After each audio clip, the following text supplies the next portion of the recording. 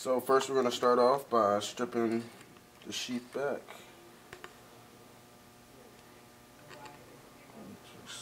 Take it piece by piece.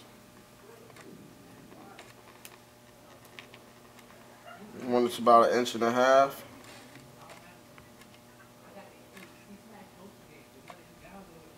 Just gotta be careful, make sure you don't break the glass. And what's that uh, that cloth looking material there?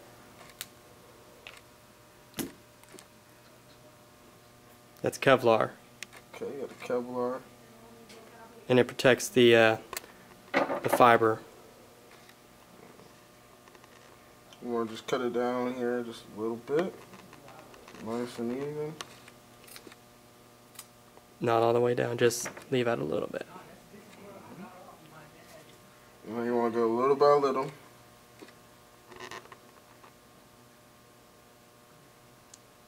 Cut off the outer jacket.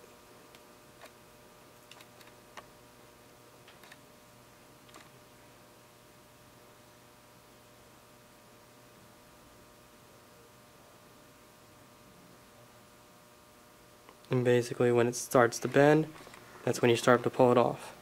Then you want to go piece by piece. Yeah, you don't want to knock it all off at once.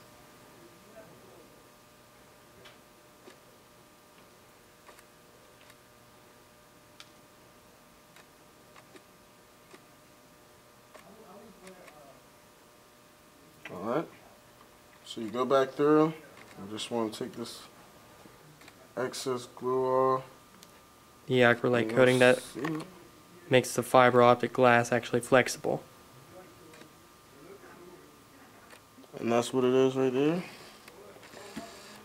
And then once you're done, you want to take your alcohol and a Kimwipe.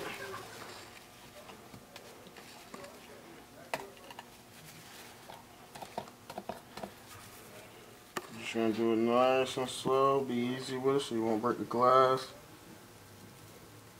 Get it squeaky clean.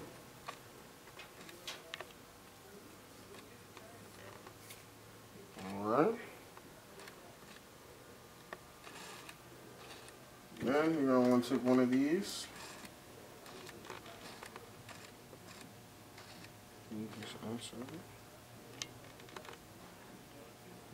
Alright.